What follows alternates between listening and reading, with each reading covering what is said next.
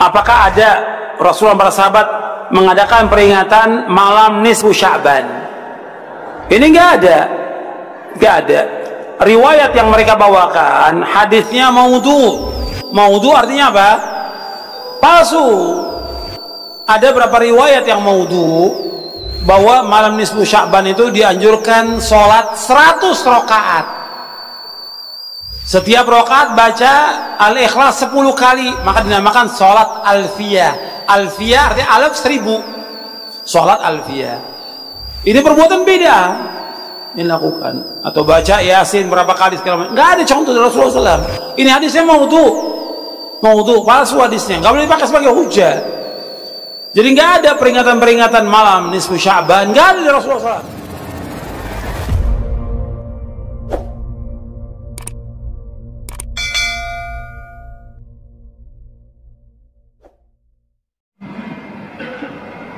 Nanya tadi Ustadz uh, sebut tentang nisfu Sya'ban.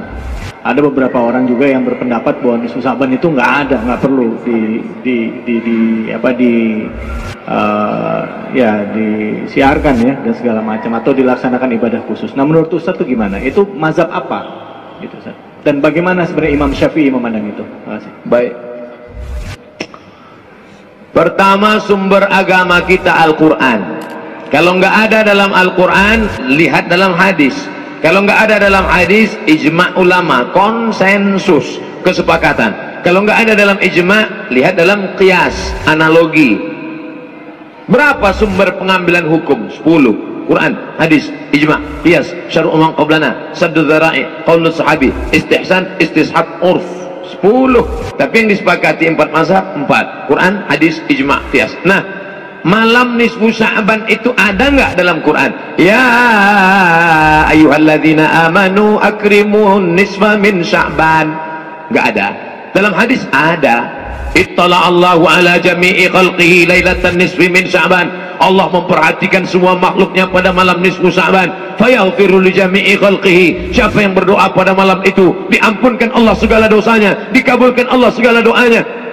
Illa kecuali orang dua musyrik orang yang mempersekutukan Allah. Oh musahin orang yang belum berdamai di antara saudaranya. Hadisnya sahih apa enggak sahih? Hadis ini sahih menurut Syekh Nasiruddin Al-Albani. Hadisun sahih diriwayatkan dari Abu Bakar radhiyallahu an. Nah hadisnya am umum bahwa malam nisfu sahabat itu ada. Sekarang pertanyaannya apakah kalangan salaf salaf itu tiga abad pertama. Khairul quran qarni sebaik-baik abad abadku abad pertama. Thumma alladhina yalunahum abad kedua. Thumma alladhina yalunahum abad ketiga. Tiga abad pertama ini disebut dengan salaf. Sedangkan abad keempat kelima keenam disebut dengan khalaf. Apakah kalangan salaf ada menghidupkan malam nisfu sya'ban? Ya. Di mana kami bisa lihat kitabnya? Al-mawahib al-ladunniyah nama kitabnya al-mawahib al-ladunniyah ditulis oleh Imam Al-Qastullani di situ dia sebutkan ada kalangan tabi'in. Nabi sahabat tabi'in kalangan tabi'in. Namanya siapa? Makhul. Siapa lagi? Khalid bin Ma'dan. Kalangan tabi'in di negeri Syam. Negeri Syam itu sekarang sudah jadi empat negara. Suriah, Lebanon, Yordania, Palestina. Kalangan tabi'in di negeri Syam merayakan malam nisfu Sya'ban dengan solat-solat-solat sunat dengan memperbanyak zikir dan doa dan mereka datang ke masjid dengan tiga. Pertama memakai jubah kebesaran. Pakai jubah. Siapa yang punya jubah bawa pada malam nisfu Sya'ban pergi ke masjid. Kemudian yakta'ilun pakai celak. Sebelum berangkat ke masjid pakai celak. Lalu kemudian mereka buat bukhur bukhur itu asap kayu gaharu. Asap bukan asap menyan manggil jin hantu jembalang tanah. Maka di masjid-masjid dihidupkan asap kayu gaharu. Lalu kemudian ulama-ulama kalangan tabi'in memakai jubah kebesaran pakai sorban. Lalu kemudian mereka pun menghidupkan malam itu di negeri Syam. Adapun di kota Makkah Madinah mereka tidak melakukan itu. Jadi antara sesama salaf pun ikhtilaf. Jadi kalau ada orang mengatakan sekarang salaf nggak ada ikhtilaf. Siapa bilang salaf nggak ada ikhtilaf? Salaf negeri Syam ramai-ramai menghidupkan malam nisfu Sya'ban. Sedangkan salaf Makkah Madinah malam nisfu Sya'ban dihidupkan di rumah masing-masing. Kenapa berbeda? Saya lama menganalisa mencari jawaban. Kenapa berbeda? Ternyata salaf negeri Syam mereka bertetangga dengan Romawi sedangkan orang Makkah Madinah nggak punya tetangga kafir nggak perlu menunjukkan syiar. Sedangkan orang Islam perlu menunjukkan syiar. Show force show tunjukkan force kekuatan. Maka pada malam itu ramai berzikir berdoa Astaghfirullah subhanallah. Walhamdulillah. Wala ilaha illallah. Wallahu akbar. Orang-orang yang mau mendirikan tempat ibadah yang belum dapat izin yang selama ini dia ngelihat oh orang Islam itu dikit ternyata malam itu dia lihat ramai hebat umat Islam. Ini adalah syiar. Malam nisfu Sya'ban adalah syiar. Tapi Nabi nggak nyebutkan ibadahnya apa memperbanyak solat-solat sunat. Solat sunat wudhu, solat sunat tasbih solat sunat hajat, solat sunat taubat solat sunat mutlak, solat sunat tahajud solat sunat witir, bagus! Saya nggak kuat lagi sholat sunat Pak Ustadz. Saya mau baca Quran. Baca Quran sebanyak-banyaknya. Baca Quran pun nggak kuat Pak Ustadz. Gimana lagi? Duduk. Apa? Zikir. Pejam mata? Zikir. Zikir pun nggak kuat Pak Ustadz. Mati aja. Zikir kok nggak kuat itu mobil-mobil mobil sudah banyak betul berzikir. Kijang Innova berzikir Avanza berzikir Terano berzikir Pajero Sport berzikir. Kok mobil berzikir? Itu tasbih yang nyangkut di kaca spion. Cabut mobil. Kamu sudah berzikir 11 bulan ya? Malam nisfu sa'ban gantian dong kita yang berzikir. Ini setiap kali pergi umroh beli tasbih sangkutin. Sangkutin. Nggak pernah dia berzikir. Jangan seperti jamaah umroh lebih lama milih tasbih daripada bertasbih milih tasbihnya lama bertasbihnya sekali putih lima small small small small small small small small small small small small small small small Subhanallah walhamdulillah wala ilaha illallah wallahu akbar itu terlalu pelan. Yang sedanglah subhanallah subhanallah subhanallah subhanallah subhanallah. Subhanallah seribu Alhamdulillah seribu Allah Akbar seribu istighfar seribu salawat seribu. Apa dalilnya zikir seribu seribu seribu? Mana dalilnya? Abu Hurairah sebelum tidur malam bertasbih seribu kali.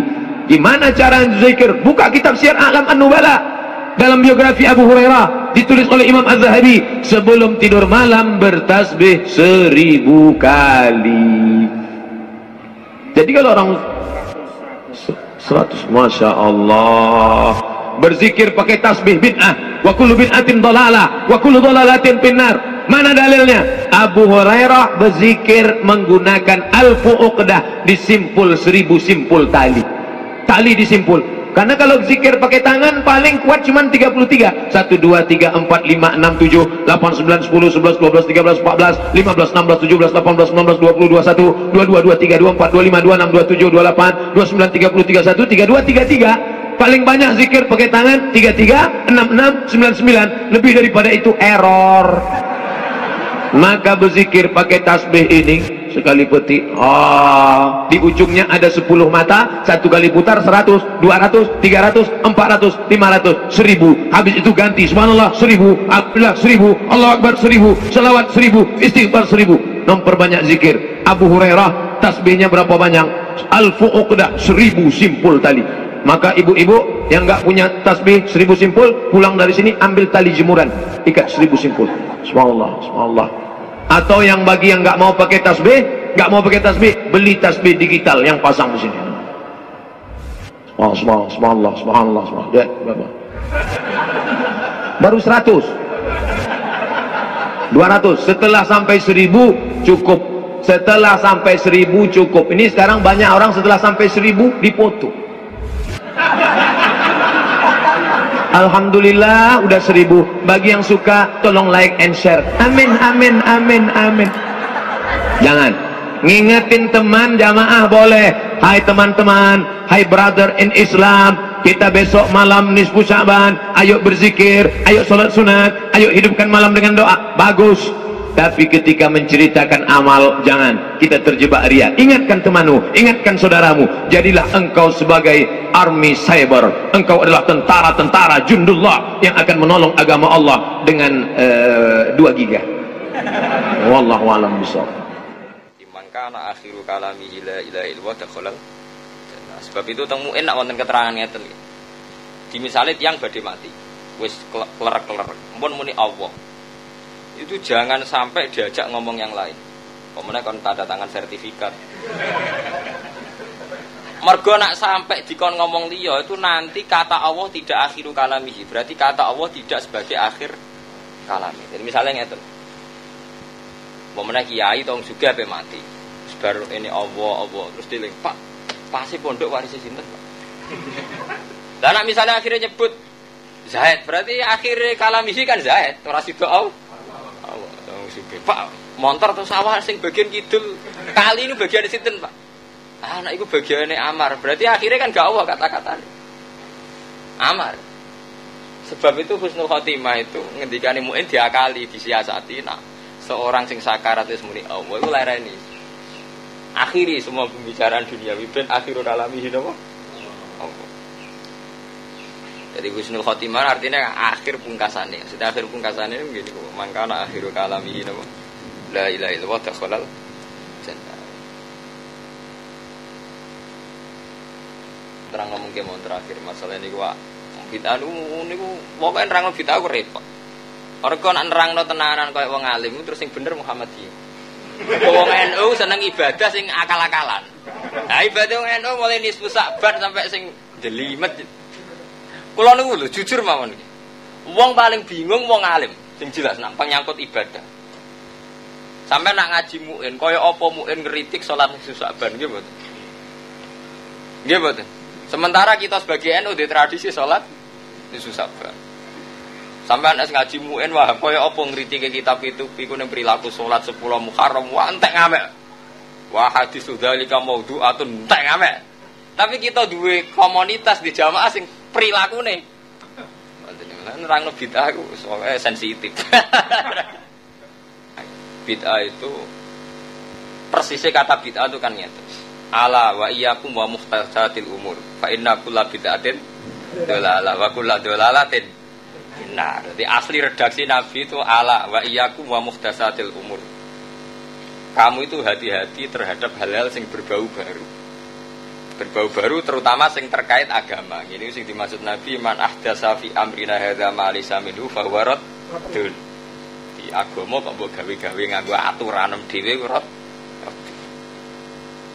Wakul bid'atin dolalah. Setiap bid'ah itu mesti sesat. Yaitu memperbarui agama. Itu sesat. Wakul dolalatin. Nah terus kemudian ketika era ulama, kata era Imam Syafi'i, era Ahmad Hanbal, yang dimaksud bid'ah itu apa? Tarifnya bid'ah. Ada yang mentarifi mengada-adakan sesuatu yang tidak ada zaman Nabi. Itu mesti bid'ah.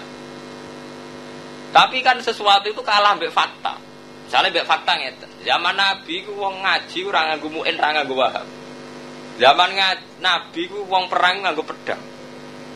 Apa saiki ya perang nganggo pedang senajan to musuh nganggo pistol. Mergo zaman Nabi nganggone napa? Pedang. Kita di satu era sing nak ngaji nganggo pulpen, nganggo kitab. Apa zaman Nabi ngaji nganggo jalalain?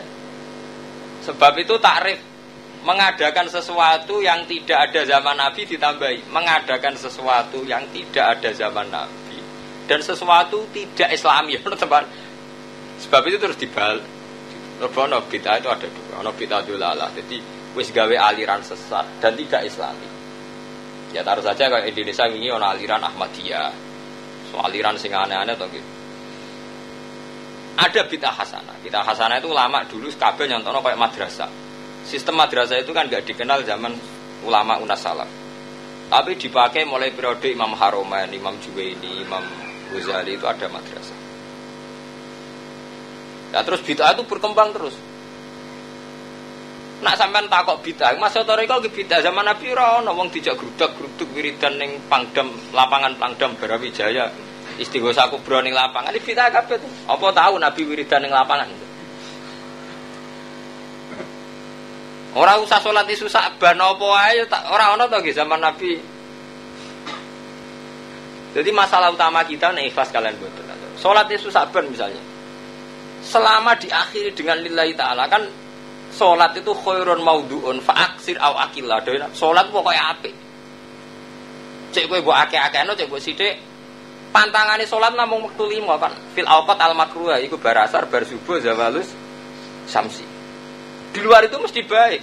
Jadi sholat yang mesti haram nu bar asar nganti suruh, bar subuh nganti tuluus samsi karo pas subuh srengenge, pas zawal.